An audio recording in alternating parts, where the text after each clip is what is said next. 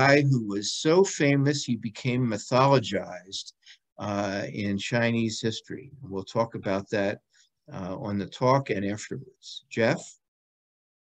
Thank you, Dr. Bob. As you can see from this, my opening slide, I have a photo here I took of a large iconic statue of Xuanzang in front of the Great Wild Goose Pagoda in Xi'an. As you might surmise from this statue or this picture, Xuanzang remains a very well-known historical figure in China. However, in the West, he's really largely unknown even amongst educated people. So I'd like to answer two questions at the beginning of this presentation. First, who was Xuanzang? And second, why are we referring to his real journey to the West? So the next slide will, no, one, one back, please. Yeah, Th this slide will give a quick overview of who Xuanzang was. He was a 7th century Chinese Buddhist monk and scholar, also a great linguist. And he's one of the world's greatest trekkers. He spent 16 years on a and 10,000 miles traveling from China to India and back. And he traveled both the northern and southern routes of the Silk Road, which not even Marco Polo did and he brought back over 657 Sanskrit Buddhist texts from India to China, and he personally translated many of those texts uh, almost up to his dying day. He was still working on translation. And very importantly, at the request of the Chinese Emperor Taizong, Xuanzang wrote a historical geography of his journey to India. Okay, the next slide will show why I'm calling my presentation, The Real Journey to the West, because this is the fantasy journey to the West, which is based on Xuanzang's journey to India, but it's full of fantastic adventures and it's a, it's a wonderful book. And it's the, the most well-known, probably the most well-known story in China. And I bought it the very first month I was in China uh, when we went to a big bookstore in Tianhe, Guangzhou, and and so I read it, and um, it's the uh, picture I have there will, of the book, and then um, on the upper right-hand corner, that's from a, a recent, pretty good adaptation of the of the story. And the main character is not actually Xuanzang; it's actually Sun Wukong, which who is Monkey King, and Monkey King. The the theory is that Monkey King the, the author of this Ming Dynasty novel transferred Xuanzang's intelligence to Monkey King, because in the novel, Xuanzang is actually considered as, or he's depicted as weak, dawdling, and gullible, but he was certainly not any of those things. But Monkey King ends up with uh, being sort of the leader and the, the brains of the whole expedition. All right, so let's go to the next slide. This is an overview of Xuanzang's journey, which started in Xi'an and ended in Xi'an. Chang'an at that time, it was the cap western capital of Tang China. The northern route is in blue. It goes out to Samarkand and then he goes down and then into India. I'm not going to cover his journey in India except for one slide. Professor Xiong uh, is going to cover more of that. And then the southern route is in the pink at the top. So we can go to the next slide. So sources of information, as I mentioned, he wrote a historical uh, a geography for Taizong, and, and that's called the Report on Western Regions. That's the book on the left. And Taizong really wanted, he, he wanted more information politi- uh, for intelligence about the Western regions and really for political and and military purposes. But Xuanzang, he gave him that information and he, uh, in very great detail, but he also included a lot of information about Buddhism and lots of stories. And part of it may have been to, to try to convert Taizong to Buddhism, or more importantly, probably to get Taizong more sympathetic to Buddhism, because there was a lot of uh, Taoism at that time was really the, the dominant religion, and there was a tension between Taoism and Buddhism, which actually has continued for a long time since then. the next book is uh, actually much more interesting for, oh, no, not, not the next slide, the next book, um, sorry. The, um, it's Hui Li's biography of Xuanzang, and Hui Li was assigned to work with Xuanzang uh, on translation, and he became a great admirer and a disciple of Xuanzang, and I, they must have sat around in the evenings after a hard day of translating and talked a lot about the trip. And so Xuanzang told him a lot of interesting adventures and, and mishaps that he had and then on the trip. And so Hui Li included those in his his biography. So a lot of our really good information about Xuanzang is from this book. And then the next book is Heavenly Khan, which are, it's our discussants book. It's a historical uh, historical fictional biography of Taizong. It's very interesting. It, it really brings them to life rather than just reading a straight history. And then some other sources that uh, we'll discuss later. So we can go to the next slide. Okay, so we need background on the Tang Dynasty. Uh, it's, it's often considered uh, a high point in Chinese civilization. It was very cosmopolitan. And these pictures I took at the uh, Nelson Atkins Museum in Kansas City, which actually has one of the, the most fantastic uh, collections of Tang ceramics I've seen anywhere. Even uh, the National Museum in Beijing doesn't have pieces as large as what I saw at Nelson Atkins. The picture on the left, we actually saw that about a year and a half ago. Another presenter did uh, a whole presentation on just Tang ceramics and uh, this is a woman, she uh, described her as a multitasking person here. She's, got, she's rousing a camel at the same time as breastfeeding a baby. So she's doing a lot. And um, the, the picture on the right is, uh, th this is uh, pieces from the Tang Dynasty, but a little bit later. These are three color or sancai uh, ceramics. And that actually became more prevalent later, I think, in the seventh century and, and uh, the eighth century after time, Xuanzang's lifetime. So we can go to the next slide. All right, now we're uh, at the Museum of Fine Arts in Boston, just down the road from where I am right now on Huntington Avenue. The left picture is a, a from the late Sui dynasty, uh, which is the one immediately before Tang, and uh, it's it's a camel, obviously, with uh, some Central Asian musical instruments on it. And then on the right, we have one actually from exactly Xuanzang's time, the early Tang, and it's a, a, a bullock-driven cart. And so this is in the MFA. So we can go to the next slide. And now we're back at the Nelson Atkins. This is a picture of four ladies of the court playing polo. So this is uh, it's well known that women played polo in China during the Tang Dynasty. We talked about that, and well, the presenter a year and a half ago talked about it.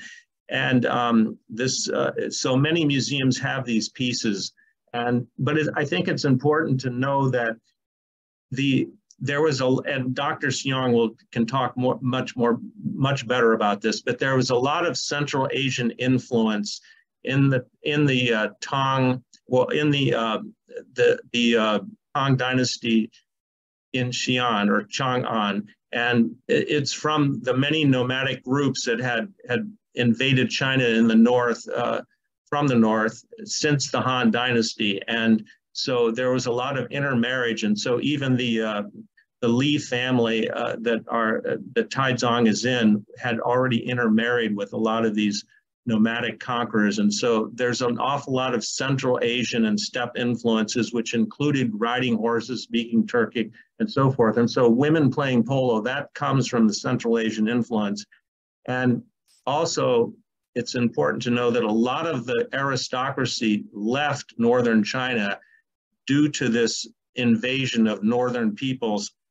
And they came, they went down to Southern China, not down to the Yangtze area and um, they actually look down on on the Northerners as being because of this Central Asian semi-barbaric uh, traditions that they had, and so the I think it's probably safe to say women down there did not that polo playing was probably not very prevalent there, but in the north they did play polo, and you'll see these ceramics everywhere. So we can go to the next slide. All right, here's Emperor Taizong. He's very important in this story. And we have a discussant that is an expert on him, so I don't need to say much about him, but he uh, he's important. So we can go to the next slide. All right, here's a map of Chang'an during the Tang Dynasty, early Tang Dynasty.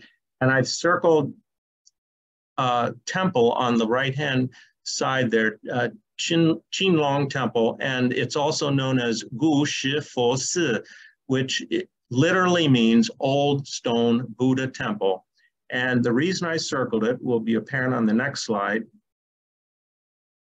which this Guanyin Bodhisattva of Compassion statue is at the MFA, and it, it was actually found at the Old Stone Buddha Monastery near Xi'an. And I have no doubt that Xuanzang saw this statue. So it's it's always interesting to be right next to something or see something that that a famous person obviously had seen also a thousand years before. And so it's interesting. All right, this statue, it's carved limestone with traces of polychrome and gilding. So I took a picture of the back of the statue that it shows a lot more of the paint. And one interesting thing to note about this statue and actually many ancient statues is they were usually, they were painted. We see the Greek and the Roman uh, statues and they all, you know, they look very uh, classical with the white or the gray or white marble and same with this. But they were all painted and it's been worn off. So this was a painted statue. And also, when I first saw it, I immediately thought, oh, Guanyin, there she is again. Well, this isn't she, this is he. Guanyin was actually, uh, was male up at this period, Guanyin was still depicted as male and considered male. She really didn't change over till much later. And but those of us who've lived in China or from China, we always think of Guanyin as female because all the depictions of her there are in the temples today. Uh, she's considered female, and in the novel Journey to the West, she's female. So I, I learned that from listening to the uh, MFA's recording connected with the statue. If we could play that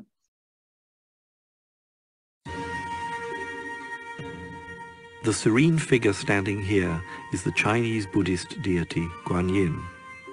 Guanyin is the bodhisattva of compassion, a divine figure in the Buddhist religion who responds to human prayers.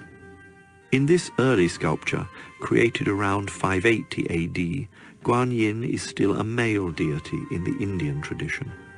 Later, in the 10th century, Chinese artists began to depict Guanyin with female characteristics.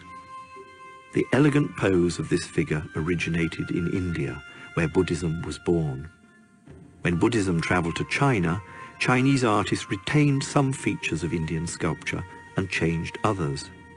They added the closely draped clothing you can see in this figure, which suggests the form of the body beneath without actually revealing it.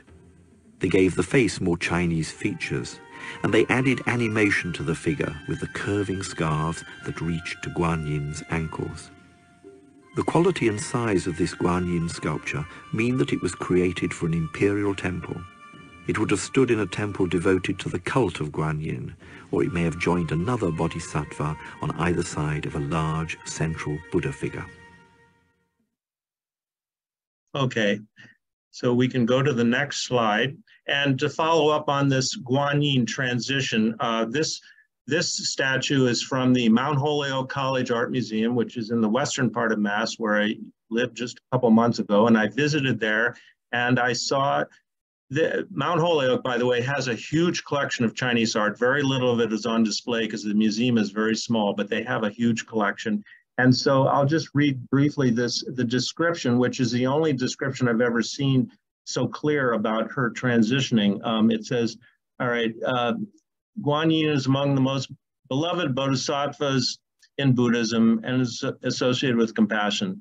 Uh, the curving lines of the cheeks, lips, and eyes suggest a female, feminine deity, while the body's straight lines evoke masculinity. This intentional androgyny is not unusual for Chinese depictions of Guanyin in this period early images uh, of this period. Early images of the Bodhisattva are male, while depictions after the 12th century are mostly female. So she was transitioning there, but uh, in the prior statue, it was male. But All right, so we can go to the next statue, or the next, um, yeah, the next statue is, is an 11-headed Guanyin, and this actually is also from the Mount Holyoke College Art Museum, and this is from the time of Xuanzang. I don't know where it's from. I only included it because it is at Xuanzang's time and also because of the 11 heads. I, I don't remember seeing an 11 headed one and I looked it up. The 11 heads symbolize the Buddha's steps on the path to enlightenment. All right, next slide, please. All right, we're back at the MFA. This is another bodhisattva, uh, sort of an anonymous bodhisattva uh, uh, that was found at the um, White Horse Monastery in Luoyang, which was the eastern capital of the Tang Dynasty. And Xuanzang was born near Luoyang, and he also may have worked or done some translation at the White Horse Monastery. So this is another statue at the MFA, which he may have seen. So we can go to the next slide.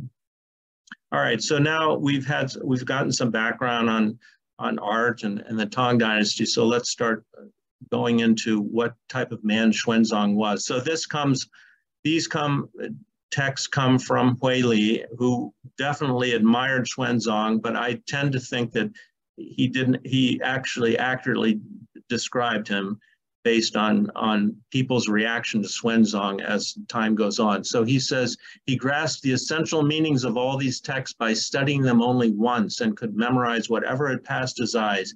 He studied with such profundity that he could comprehend subtle meanings and reveal what was hidden in the text. And he loved contentment and natural simplicity and did not like social life. Once he entered a place for practicing the way, he would not come out unless there was a summons from the court. And then finally, we have a physical description of him. He was he was tall for a Chinese man, especially at that time. Even Westerners were not this tall. He was just under six feet in stature, and his body was of a pinkish white color with broad eyebrows and bright eyes. He was as dignified and solemn as a statue and as handsome as a figure in a painting. His voice was clear and far reaching, and he spoke elegant, elegantly and sonorously so that his listeners were never bored. When he walked, he carried himself gracefully, looking straight ahead, neither, never glancing sideways. So following up on this physical description, I'd like to go to the next slide.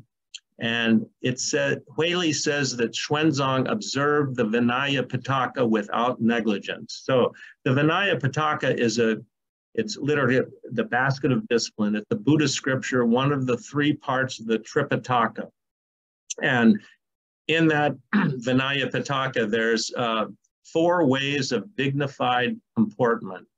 And one and two, number one of those four ways is walk like the wind. So what Xuanzang is doing is he's following this. He's walking gracefully with a sense of lightness, just like the wind. Avoid trudging along and dragging the feet. Okay, and so number two is stand like a pine. He had very good posture. So he followed these, these uh, which are actually very good rules for, for all of us to follow, but he followed these uh, without negligence. So let's go to the next slide. All right, so now we'll cover Xuanzang before his trek. He was born into a scholarly family at the very beginning of the seventh century, and he received a strict Confucian education from his, he, he was from a scholarly family, so he, he got the Confucian education. But his brother, his older brother was a Buddhist monk, and so he must have influenced Xuanzang quite a bit. So at the age of 13, he followed in the footsteps of his older brother and he went to a monastery. And he, by 20, he had already become an ordained monk. And then he spent several years in Chang'an, capital of Tang Dynasty, and he studied Sanskrit and other foreign languages. So we can go to the next slide. And so this, we're trying to here explain why he decided to go on his trek the, the main problem was that Chinese Buddhism was relying on probably corrupt texts, bad translations. They didn't have enough of the original Sanskrit uh, sutras, uh, scriptures to study, and, and there weren't many people in China anyway that knew Sanskrit. So there were a lot of disputes about the meaning of, of Dharma, which is basically the teaching of Buddha. And so Xuanzang decided he had to go to India to obtain the original sutra texts. And, and he learned Sanskrit in order to be able to translate those texts when he got back. And he also wanted to study Buddhism under great, uh, great men there in, in India. But at that time, there was a lot of conflict with the Turkish people of the Western regions, and then Taizong had banned foreign travel, but that did not dissuade Xuanzang. He decided he, he, it didn't matter if there was a ban, he was going to go. And uh, he, he was inspired by, well, the, the examples of prior monks, especially Faxian, and he, Xuanzang wrote, a real man should have the ambition to carry forward their tradition. So I think part of it was almost an ego thing. It wasn't just faith, but he he wanted to prove his own uh, strength to, to follow in these footsteps because this was not an easy journey to take. So we can go to the next slide. So he petitioned, along with a couple other monks, he petitioned the emperor to, for permission to leave China, but there was never an answer from the emperor. So uh, but luck, luckily for uh, Xuanzang, but not for China, there were some bad harvests in this year of 627, and a decree was issued that allowed people to leave their homes for other parts of China to seek food. So they took advantage of this decree and they traveled uh, on their first step out of out of Chang'an. They traveled to Liangzhou. So we can uh, show a quick clip from a movie uh, that shows this actual uh, proclamation of people being able allowed to leave. So you can show the next. "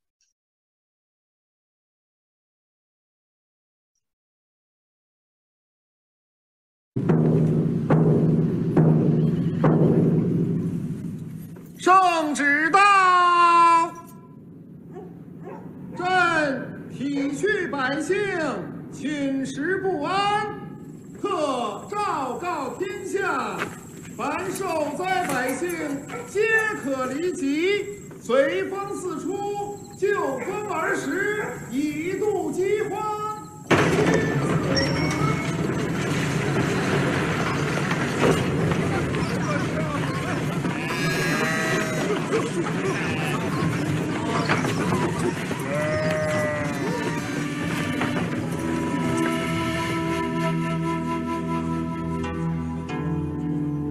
Okay, we can.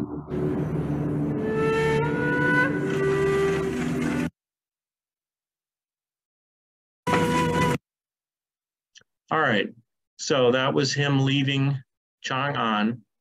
And so we need to get an idea of the geography here. So here is a map of, you'll see Chang'an in the lower right-hand corner. You'll see Urumqi up in the upper left. And uh, uh, his first stop well, Lanzhou was his first stop, or Tian Shui, but this is what this map is, is the Hexi, Hexi corridor, which is very important to know. This is the, really the, the corridor which connects China proper to Central Asia. At that time, we'll say Central Asia. Now it would be Chinese Central Asia or Xinjiang. So it, it basically goes from Lanzhou or Liangzhou up to Dunhuang and uh, and the Jade Pass or the uh, yeah the Jade Pass. And so at, at that point, the northern and southern routes of the uh, Silk Road diverge. And so this this is really the main entrance and exit uh, into and out of China. So it's really important to know the Hexi corridor. It's also known as the Gansu corridor. So the next slide I prepared to give you a better idea of the geography. So the map of China is in the upper right-hand corner. The province of Gansu is um, highlighted there. It's right in the middle of China, sort of in the middle of North China. And then the Hexi corridor I've circled, and you see Xi'an, I've circled that, Beijing on the right, Urumqi on the left. And to get the idea of the distances, Urumqi to Beijing is 1,500 miles. It's about the same as flying from San Diego to St. Louis. So that gives you an idea of what we're talking about here is first geography. So we can go to the next slide. All right, so he went to Lanzhou first, and then he met a man sending back horses for official use. And so uh, this man, uh, he was able to travel with him to Liangzhou, which was his next stop.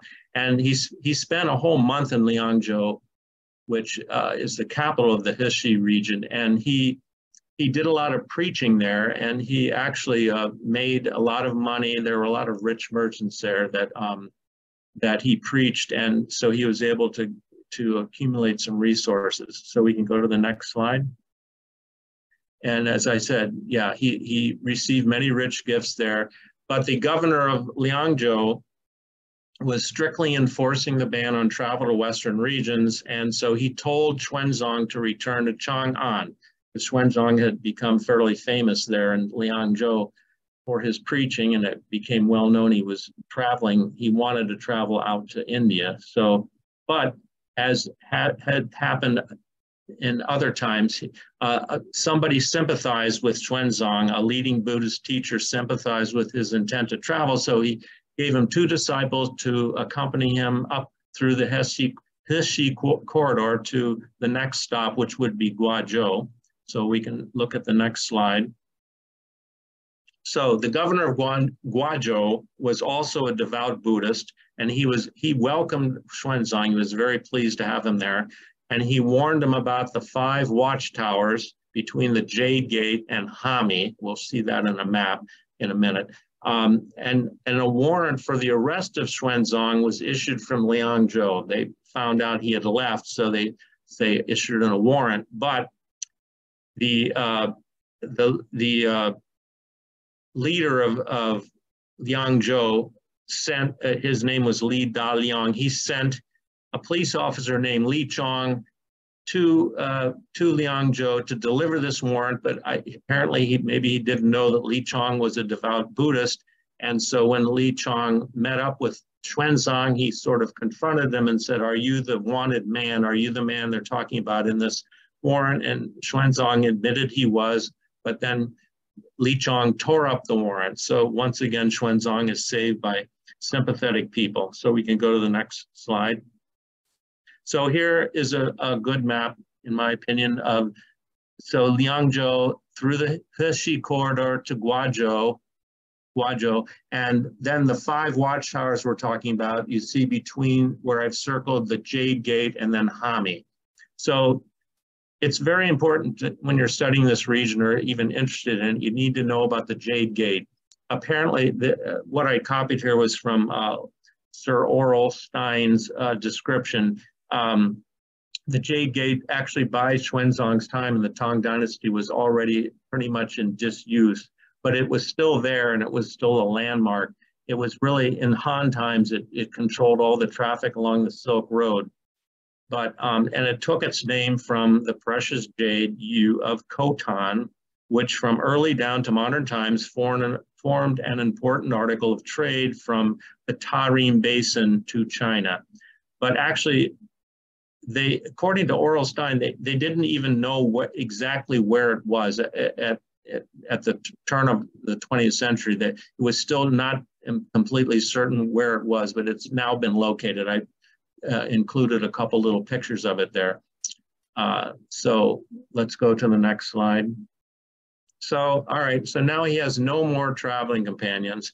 So Xuanzang, whenever he was in trouble, he always prayed and he his prayers were answered. He was at a shrine where he met a man from the Hu tribe who had come to pay homage to the Buddha. And so they started chatting, and the man paid his respects to Xuanzang and requested his teaching. And then they agreed that, or the Hu man agreed to be his guide through the notorious five watchtowers on the way to Hami or Yiwu and they agreed to meet the next day to start the journey. So we need to know what who, what does who designate? Who, who is a very common term when you're reading about this time. Uh, it, it's a general term for non-Chinese peoples living north and northwest of China. And um, it's also it's it's also a very common family name in China, and I don't know if all people named Hu are can trace their traced back to, to uh, non-Chinese peoples, but it is a common name. In fact, the president of China before the current president, Hu Jintao, has that name. So we can go to the next slide. All right, so this, this is, is uh, information told by Hui Li. So it's, it's very interesting. It really shows Xuanzang maybe wasn't always the calm Buddhist uh, monk that he wanted to be. He it said, all right, he arrived together, the, Hu man arrived together with an old man of the Hu tribe riding on an aged lean horse of reddish color. Xuanzang was displeased at seeing this old man, but the younger man assured him that the older one had made the trip to Hami more than 30 times. Now, the old man tried to talk Xuanzang, Xuanzang out of going because of the danger. He, he, this is the quote, if you insist on going, you had better ride my horse. This horse of mine has traveled to Yiwu 15 times. It is sound and knows the way well. Yours is too young to travel such a long distance. So Xuanzang had remembered that, yes, a, foreign, a fortune teller had told him that he would be making his journey to the west on an old lean horse of reddish color. So he did the exchange. The old man was very happy that he got a a young horse and he gave his old horse to Xuanzang. So let's go to the next slide. So now this is the next adventure, maybe one of the most dramatic adventures that Hui tells us about. So they're they're bunking down. They they'd already gotten to the. They could see the the Jade Gate in the distance. It's midnight. Must have been a full moon. They could see it, and so after they bunked out, they were about 50 paces apart. And then Xuanzang noticed that the guide was coming towards him with a knife. So what did Xuanzang do? He quickly got up and began reciting prayers. And so at that point, the guide turned back. He had a guilty conscience, I guess. And so in the morning, though, the guide said, Your disciple considers that the journey ahead is too long and dangerous. There's no water, no grass, and you can only get these things at the five towers. And at the five towers, if you're discovered, we'll be we shall be dead men. So it is safer to turn back. But that did not dissuade Xuanzang. He he just gave he re released the Hu guide from his services and gave him a horse. And so now Xuanzang is on his own. So the next slide, we have another adventure which uh, is can be shown in movies very well. Xuanzang is out in the desert alone on this skinny red horse and what happens? He loses his way and then he drops his water bag. And now he's he's literally dying of thirst. A couple days go by. And but Xuanzang, as Hui Li says, Xuanzang prayed to Guanyin and it, it was answered with a cool wind at night. And but the horse led as horses can do and camels too. They know where water is. The horse led him to what we think is Wild Horse Spring. It's an actual spring there. Uh, Hui Li says that maybe Guanyin actually uh, made the spring pop into existence just at that time, but it was, we'll, we'll go with it, it was Wild Horse Spring. And so he got there and he was saved thanks to the, thanks to the, the skinny old horse. So let's go to the next slide. All right, so now we're in, uh, we're in Hami and he uh, Xuanzang I, is already famous, probably from some of the preaching in Liangzhou, but he's got an invitation from the king of Gaochang or Turpan or Turfan uh, that he wanted to meet him. And so Xuanzang actually changes his plans and heads to Turpan.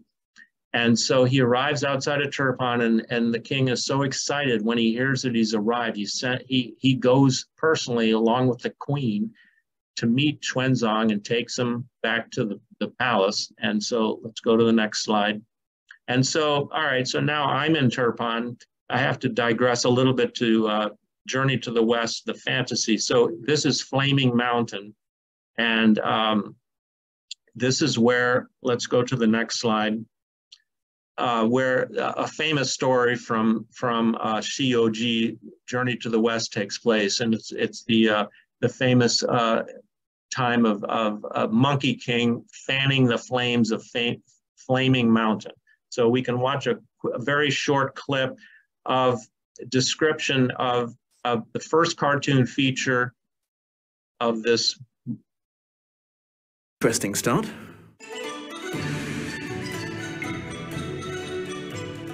In 1941, Journey to the West became the first Chinese feature-length animated film when Chapter 59 became the plot to Princess Iron Fan. It fudges the story a little bit to include Pigsy and Sandy a little more, but overall it's really not too bad adaptation-wise, covering the troop discovering that their path is blocked by a fiery mountain, being informed in a local village that the only thing that can quell this fire is a fan of a local demon who refuses to lend it to them because Monkey had a run-in with her son Red Boy, fighting her, getting a fake fan which makes the fire worse, impersonating her husband, Bull Demon King, to get the genuine article, then having to fight the real Bull Demon when he shows up looking for revenge. Okay, that's. Uh, dubbed by the BBC no. and became a cult classic. We can stop it now. All right. All right. So now, as often happened, Xuanzang was so popular and so sought after that people wanted him to stay. And so the king of Turpan wanted him to stay so badly that he actually for he he said that he would force him to stay. And so when Xuanzang refused, he actually went on a hunger strike. And then the king felt so ashamed, he finally relented. But he, Xuanzang had to stay a couple more months to preach, uh, or one more month. And so he, he received a lot of gifts, uh, 20, 30 horses, 25 carriers, and, but most importantly, letters of introduction to 24 countries for his continuing journey. So we can go to the next slide. And so now we're going from Turpan to Kucha. And Kucha is important because it's near, it's where Kizil is, which is the site of the famous Thousand Buddha Caves. And I'm going to include, a, show a few of those pictures because I'm absolutely positive Xuanzang visited those caves because Hui Li says that they spent a couple months here waiting for the pass through the ice mountains to open and because it must have been like late winter early spring and that Xuanzang actually spent time sightseeing. So the sightseeing must have been in these caves. So let's let's take a look at the caves. All right this briefly Kizil uh, represents an extension to Central Asia of the Indian tradition of excavating and painting caves and uh, the last sentence says the striking green and blue of these of the palette of the Kizil frescoes is uniquely Kuchean. So let's look at these frescoes. All right, so the ones that I've chosen are from the older Western school, which is from 500 to 700 AD, so, and that, uh, and not the later Eastern school, which is 650 to 950, which is around the Turfan oasis. That was after Xuanzang.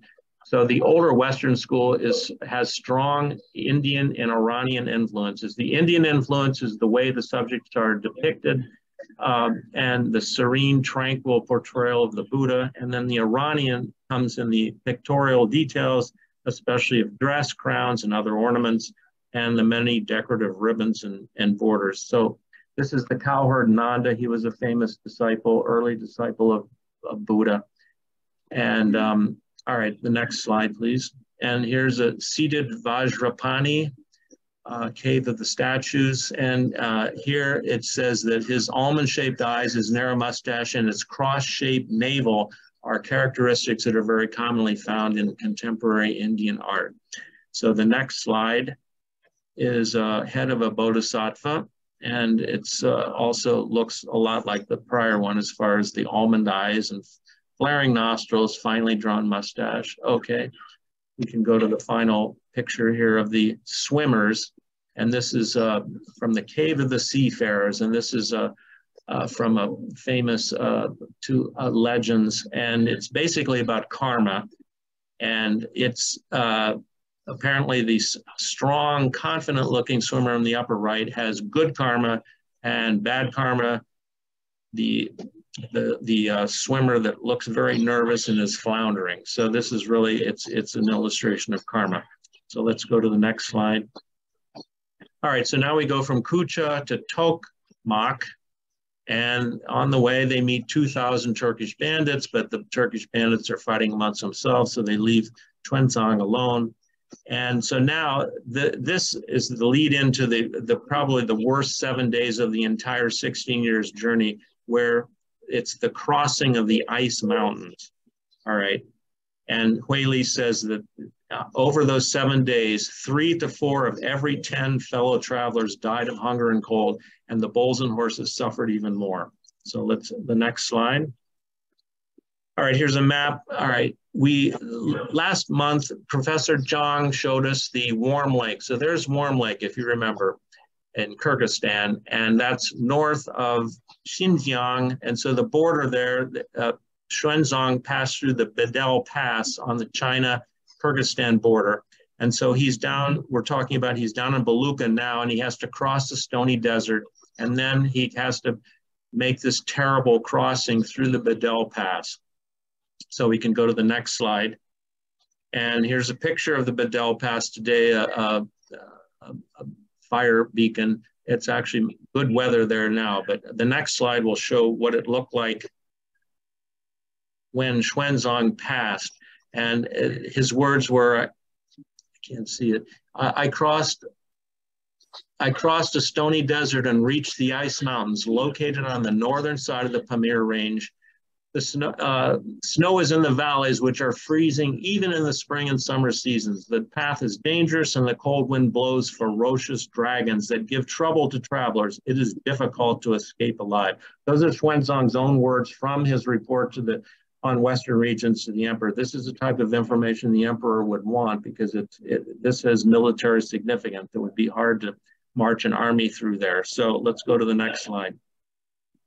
So now we've we've passed through there. We we survived that, uh, that. Well, some of us survived it. A lot of people didn't. And so now we're up to the warm sea, which we talked about last month, and it's it's called the warm sea or is it cool today, and it's actually a, a very uh, nice summer resort. And it's only called warm sea because it doesn't melt or it doesn't freeze, and it doesn't freeze because it's salty. So let's go to the next slide. All right, so now he gets to the, great Khan of the Western Turks, and now he's almost all the way out to, uh, uh, he's close to Samarkand now. All right, so he he says that um, he had a big feast. The great Khan had a big feast for Xuanzang, and uh, Xuanzang liked the music. He said the music of the alien tribes tinkled and clanged in symphony. And although the melodies were foreign and lacked refinement, they were quite amusing to the ear and delightful to the mind. So they had a big feast. The Khan and his retinue did a lot of eating of good meat and fish, and Xuanzang had his grapes and, and pancakes and so forth. And then he was asked to preach the Dharma, and of course he immediately converted the Khan to uh, Buddhism so let's go to the next slide. So he, uh, the Khan provided Xuanzang an interpreter and letters of introduction, yeah, actually from Tokmak to, to Samarkand. And so he, he uh, reached Samarkand and he was greeted by the king there and he stayed a night and he converted that king also to Buddhism. And then uh, just a quick story, he that Xuanzang and a couple of his tenants went to worship Buddha at a, at a deserted monastery, and, and he, they were driven out with fire by the Hu people, and the king was going to cut their hands off in, in punishment for this, this uh, assault, but Xuanzang intervened and, and stopped them from getting mutilated. So let's go to the next slide. So here's a here's a, a portrait of, of, of some, uh, it's a mural from from that from Samarkand, and it uh, shows Chinese ambassadors from the Tang court at the Western Turk Khaganate, and they're carrying uh, silk, they're carrying uh, uh, materials for silk making, and then on on the right are the Turkish. Uh, the Turkish delegates, and they, they're recognized by their long plates. And so it's interesting to know that, of course, when the Qing dynasty took over, then they enforced on the Chinese people the wearing of, of long of of the, the long plates or the queues. So, but at that time, we see the Chinese don't have them. All right, the next slide, please. All right, so this is my one slide on India. Professor Xiong has, has much more information on India. There I am at Sarnath many years ago, and that's the, where the deer park is, and, and the deer park is where the Buddha preached his first sermon, and of course, Xuanzang visited there as, along with the birthplace of Buddha of the Buddha in Nepal. So we can go to the next slide. All right, so now we're getting, as I said, we're not covering India, or I'm not, and so we're getting him back into China. So we're not sure what pass he took to get back into uh, Xinjiang. It wasn't called that then, but to get back into Chinese Central Asia. But um, Dr. or uh, Sir Aurel Stein thinks that he went through the Payik Pass. And the, his last stop or the last notice stop before the pass was Great Dragon Lake. And Xuanzang described this lake, and Xuanzang, this shows that Xuanzang did uh, provided a lot of information about flora and fauna in this report too. It says, he says, the lake has a very sweet and refreshing taste. In the water dwell sharks, hornless dragons, fish, normal dragons, soft-shelled turtles, alligators, and tortoises. And floating on the water are mandarin ducks, swans, wild geese, and bustards. The huge eggs laid by various birds are left in the wild among the marshes on sandy islets. So next slide, please. So here's a picture of the one end of the Great Dragon Lake called Lake Zorkhal now, and it's looking south into Afghanistan. So we're in uh, Tajikistan looking south. So go to the next slide. All right, so here's a map I located, all right, you see the Wakhan corridor of Afghanistan. That's sort of that uh, panhandle that sticks out of Afghanistan. And if you're looking at maps, that can sort of always orient you. If you can see that panhandle, then you know that you're uh, China's just to the, the, east and Tajikistan's to the north and Pakistan's to the south. And so the Payik Pass is there I, in the, the red diamond. The Tanjitar or Tangatar Gorge that's where Xuanzang was attacked by bandits and lost his elephant. And um, all right, the next slide, please.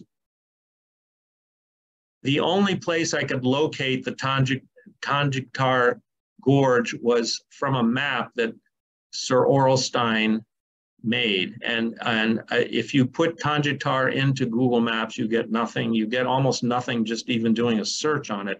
But Aurel Stein, who uh, he called Xuanzang his patron saint. He carried the, the report on Western regions around with him in Central Asia as he was excavating and exploring.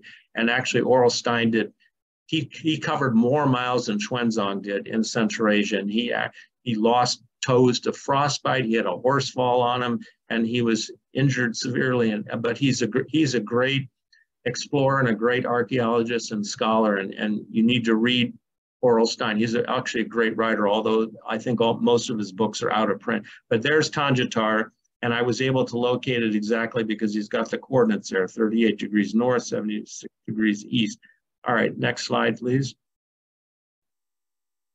So here's a picture of the, of the gorge where Xuanzang lost his elephant. All right, next slide. So here's, here's the area we're talking about today.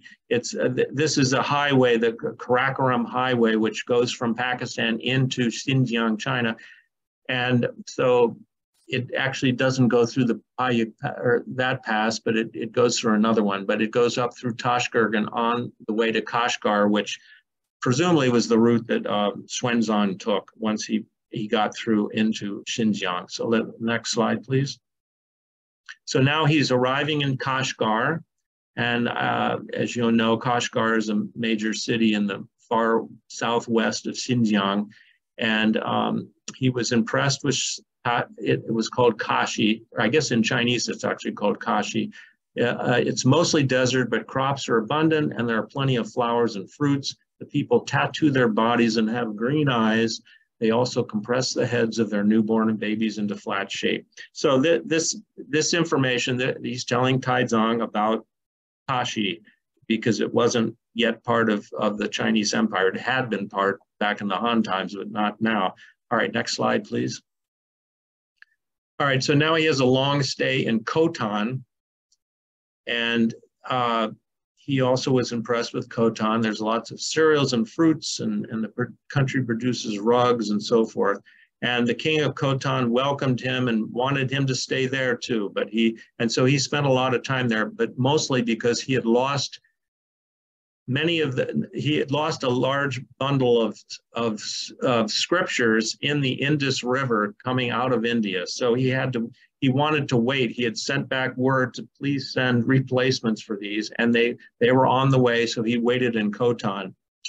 And so, and while he was in Khotan, he wrote a letter to Taizong uh, announcing that he had gone to Brahmanic countries, venturing to act against the law and the regulations of Sikh Dharma, and he was now on his return journey. So we can go to the next slide. And here's a quick picture of Man from Khotan. And this is actually from a Chinese, uh, or man of, from Khotan visiting the Chinese Tang court. And it's by a famous Chinese artist, Yan, Yan Liben, and who lived almost exactly the same time as Xuanzang, just 10 years later, or he lived 10 years longer. And he was a court painter. And um, this is a part of a famous uh, version of Liang portraits of periodical offerings. But it shows a man, a true man from Khotan. So this is exactly what they look like. This was painted almost exactly the time, or just a few years after Xuanzang was there. So we can go to the next slide. All right, here's a, uh, here is a, a, a votive panel that was actually discovered by Sir Aurel Stein. I just found out that this morning, and it's from it's from near Khotan, and it was it's dated either the sixth, seventh, or eighth century. They're not sure, but it shows a a, a famous uh, story of a Chinese princess who smuggled mulberry seeds and eggs of the silk moth to Khotan. I think she, she was going to be married to a like a king or a prince in Khotan, and she smuggled this this very uh, regulated material to Khotan because China did not want other people to know how to make silk. But she, she, the story is that she she was the one that got the got the uh, information out. And so this is a uh, and and also Xuanzang related this story in Record of the Western Regions. All right, so the next slide. So where he's on now he leaves Khotan. Oh, he receives a reply from Emperor Taizong, who's very happy to hear that he's coming back, and he wants him to immediately come and see him, the emperor. And so the governor of Dun, Dunhuang has been ordered to receive the teacher in the desert, and at Shanshan. And uh, Shanshan used to be called Loulan, and just quickly, Loulan now is famous for what's called the Loulan Beauty. She is a natural mummy that is from about almost 2000 BC and was found near Loulan. And uh, she's actually, what's famous about her is she's actually of European descent. Her people came from Europe, probably by way of Siberia, down to that area. And um, I saw her at the uh, Xinjiang Museum in uh, Urumqi and also a full model of what they think she looked like. And yes, she looked she looked just like somebody in my family, I guess. So it was it was very interesting, and she's very famous, Loulan Beauty. All right, so we can go to the next slide. So here we have the uh, Dun Dunhuang and uh, which means Sand City. Next slide, please. All right, so now he he re, uh, arrives at Dunhuang. He wrote another letter to the emperor.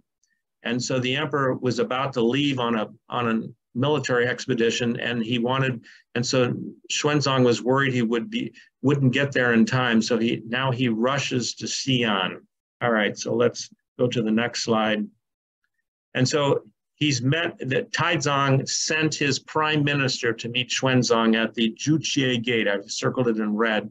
And there were like 10 miles long of people welcoming, welcoming, welcoming Xuanzang back to, to Xi'an or Chang'an. And one interesting thing, exactly 10 years before the prime minister was sent to meet Xuanzang, he was also sent to meet a Christian mi missionary named Alopen from the from uh, Byzantine Syria, or what and this is actually all in a on a steel in the in the Xi'an stele forest. It's the story of of this uh, of the Christian missionaries in China at that time. I didn't know they they had come, come so early, but um, from and they describe it as being from Da Qin, which is Chinese for Roman Empire uh, in the characters Da and Qin, which is the uh, the dynasty before the Han. So that's that's China's name for ancient Rome or the Roman Empire. So I think it illustrates Taizong was not he was not only intellectually curious and interested in, in all religions, but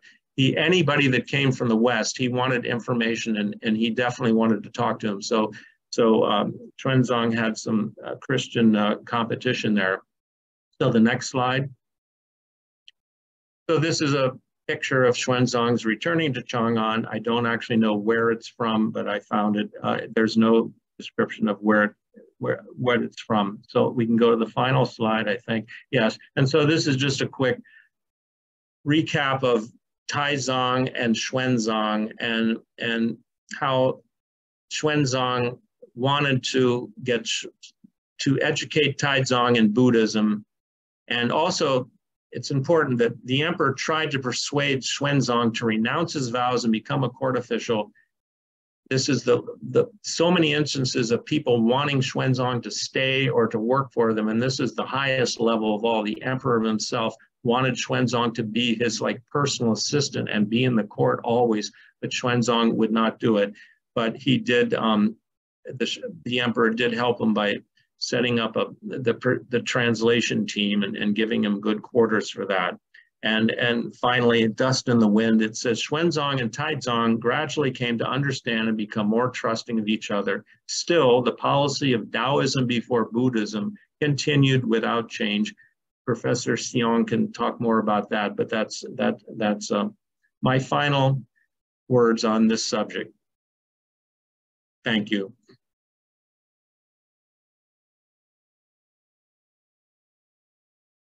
Well, uh, thank you uh, very much. And uh, this is a great uh, talk, Jeff.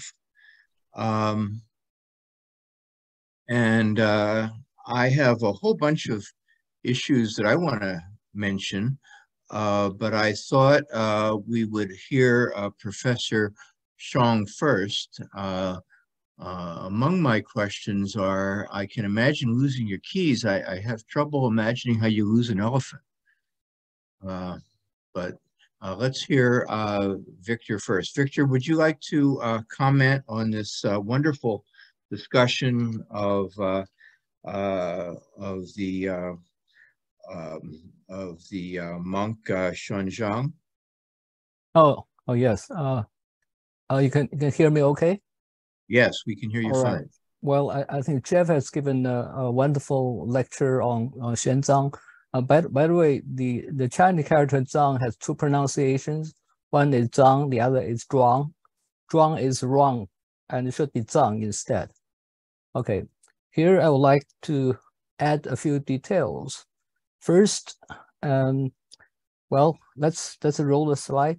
Yeah, this is a little bit the propaganda, and this is one of the uh, books I published recently. It's called A Thorough Exploration in Historiography it is uh, a masterpiece written by a Tang Dynasty historiographer. His name is Liu Zhiji, and never been translated into a uh, into a Western language before. Now um, it is there, and and, and the, the beauty of this uh, edition is is bilingual. And go ahead, the next slide. As you can see here, uh, the Chinese text and uh, alongside the the the English translation. Okay, uh, next. Yeah, this is another book I published this year. Uh, it's the, the about the uh, the greatest female sovereign probably in world history, and her, na her name is Wu, Wu, Zetian, and again this is a historical novel, so it's now available on Amazon. Okay, next. Right, go ahead. Yeah, about uh, Xuanzang and uh, when he arrived in the great city of Chang'an, the capital, he settled down in the great Zhuangyan monastery, great Zhuangyan monastery. And this is not a, an ordinary monastery, this is the royal monastery. And it was magnificent with uh, towering halls and large houses. Okay. And, and, and it was renowned as the grandest monastery in the capital city and in the entire country as well. Xuanzang, a young man, got to live there thanks to the good offices of a very important man uh, whose name was Xiao Yu, who was vice president of the Department of State Affairs. And the painting below is the painting of the monastery from Dunhuang, probably painting dating back to the 9th century. Uh, you can see um, the magnificence. Okay. Next. Chang'an at the time was the largest city by area in the world, um, probably by population as well. And in the southwest corner and its location of the Great Zhuangyan Monastery in Chang'an, you can see here where the red uh, arrow is. Okay, go ahead. Uh, because of contradictions in existing sutras and commentaries, Xuanzang decided to search for some original texts in India. Oh, there's one particular text Xuanzang was eager to see. It was Yogacara Bhumi Shastra, meaning treatise on the foundation for yoga practitioners. It is believed to have been composed by Maitreya Bodhisattva. Okay, so um, and, and when when he heard that Master Shilabhadra was teaching the Yoga Sutras at Nalanda Monastery, Xuanzang's desire to travel to India grew even stronger. Some scholars speculate that Xuanzang may have learned this piece of important information from the renowned Indian monk uh, Prabhakara Mitra. He was then visiting Chang'an. Next. Xuanzang's first stop is Wu Wei in Liangzhou. Liangzhou. While there, at the request of the local people, Xuanzang gave a series of lectures on subjects such as Nirvana, Mahayana Suma, uh, uh, or Mahayana summary, or prajna, or transcendental wis wisdom. And these lectures earned him great acclaim. Before his departure, he received a, a huge amount of gold, silver, and horses as gifts. Um, but he could only accept a portion of these, donating the rest to various Buddhist monasteries. During the Tang dynasties, when traveling long distances, passing through waterway and road checkpoints, it is necessary to present uh, travel documents known as guosuo for inspection. Um, okay, so is right here. Yeah, this is at the bottom. You see um, uh, a piece of guosuo dating back to Tang Dynasty. Surprisingly, Xuanzang didn't have these, yet for him, domestic travels remained relatively smooth, and this could be attributed to the fact that inspection and enforcement of travel documents at that time were not strictly and enforced, you know, within countries' borders. Next. Next, we're in Gaochang. I think Jeff already gave uh, a good coverage. Um, this is Xuanzang's first major stop outside Tang China. Xuanzang was received by none other by, than the king himself, Qu Wentai. And Gaochang at the time was still an independent oasis state, but that would that would not last long, and and the the, the state would be annexed by Tang China in the year 640. King Qu Wentai was a devout Buddhist who was deeply impressed with Xuanzang's knowledge, Xuanzang's character, and Xuanzang's faith.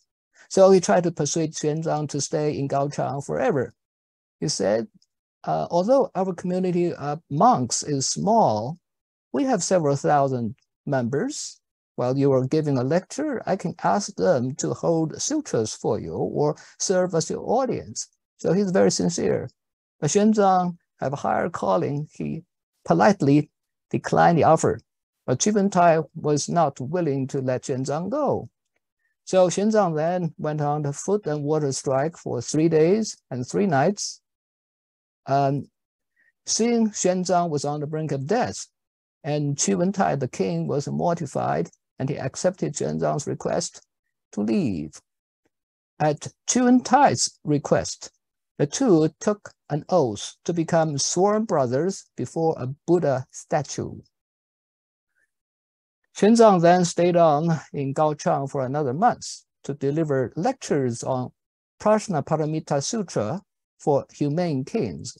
Uh, Prajna Paramita means perfection of wisdom, uh, wisdom. And oh, it is now considered an apocrypha, that is a fake, but that's irrelevant. Qu had a large tent set up for that purpose that would accommodate over 300 people for Xuanzang's lectures. Before each lecture, Qu Wentai the king personally carried a small incense burner to welcome Xuanzang into the tent. He would kneel down and allow Xuanzang to step onto his back in order to climb into his high seat. At Xuanzang's departure, even uh, Wentai presented generous gifts to him, which would be enough for his travel expenses for the next 20 years. I think including four monks, 25 laborers, 30 horses, uh, 100 taels of gold and 30,000 silver coins and 500 bolts of silk. Next. Uh, well, uh, okay, next. We already covered this.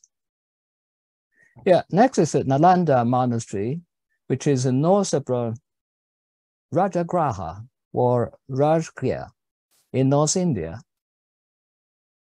Uh, anyway, go ahead.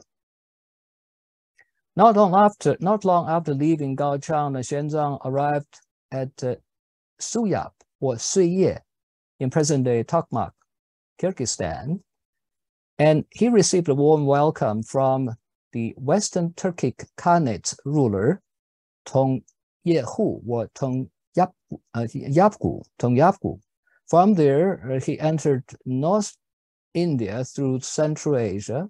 Finally, in the year 631, he reached the renowned Nalanda monastery near Rajgir or Rajagraha, a true pronunciation of the same place. And that was the highest seat of learning of Buddhism in India.